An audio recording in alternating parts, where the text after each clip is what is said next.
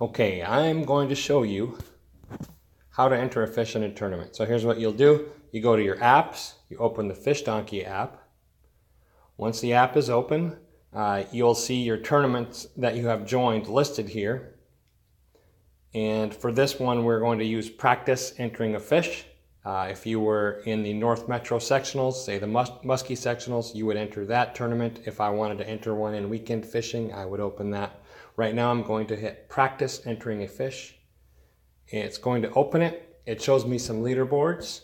Um, if you only have one leaderboard, it will show it here. Any fish entered will also be here. We hit the enter a fish button down at the bottom. So I hit enter a fish. It gives me some instructions. I'm going to ignore these because I'm going to show you how to do it. I'm going to say don't show again. And actually I want to show you what it's like without having to go through that. So I'm just going to cancel out of this and do it again. So now, now that I've said don't show me those instructions again, now I'm looking at the leaderboard. I want to enter a fish. I just hit enter a fish. It immediately opens it up. It goes to the camera.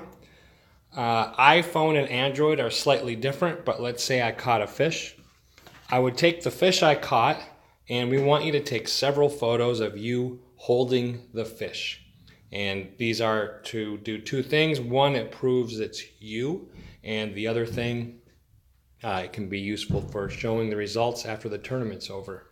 Uh, we can see what the results are like. And so now say I, I take my fish, let's just, I don't have a muskie. Uh, let's pretend this is a muskie, it's a walleye. Um, put it on the board. You've taken several photos of you holding it, and you can take photos of the fish on the measuring board. And what you can also do is hit the record button. So I'll take some photos of it on the board. It's the, it's the camera icon and you can hear it clicking. I will take video of the fish. I'll start the video and I'll prove that the fish's nose is touching the measuring board. I want to see that it's touching the measuring board. Uh, go all the way down the length of the fish and then I want to see that the tail where it's touching the measuring board. You might be using a bump board or a ruler, whatever you're using. Make sure you get the head and the tail. Um, if you can't get it in a photo, in one photo, make sure you do it with a little bit of video. You'll have 30 second video. And then when you're done, you can also take another 30 second video uh, and record the fish being released successfully into the water and swimming away. All right, and when you're done with your photos and videos, you hit the check mark.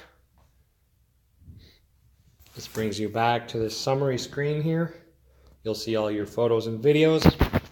Everyone that has a check mark in it is included and going to be sent. It'll automatically choose the first five.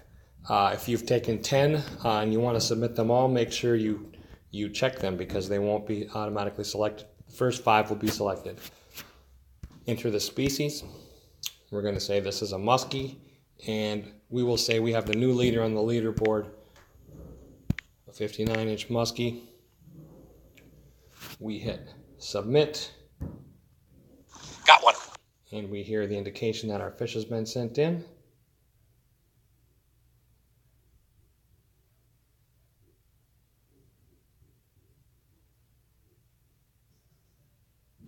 And there I am. I'm the new leader on the uh, leaderboard.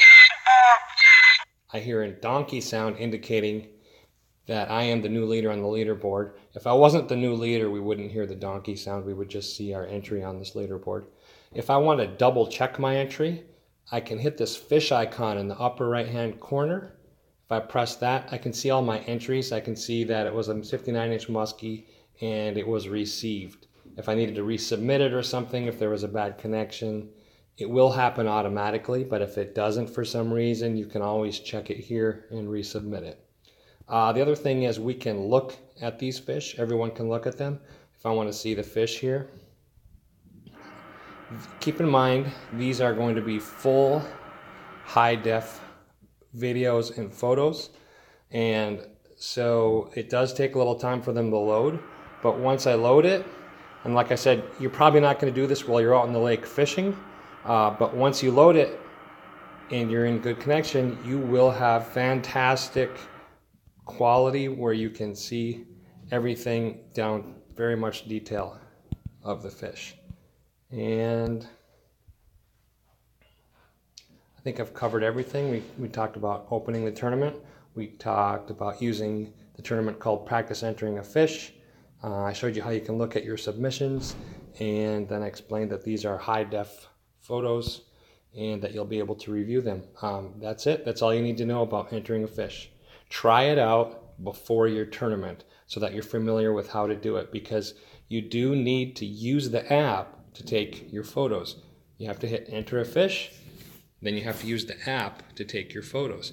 You can't just take photos and then try to submit them because the app's going to prevent you from doing that. Uh, it, it's going to prevent you from cheating, and so it's not going to let you turn in an old photo or an altered photo. Oops, it's a muskie. Got one. And there I submitted a 55 inch fish. That will not be make a donkey sound because it's not a new leader on the leaderboard. There I am, number three with a 55 inch fish. Okay, that's all you need to know about how to enter a fish. Try it out before your tournament.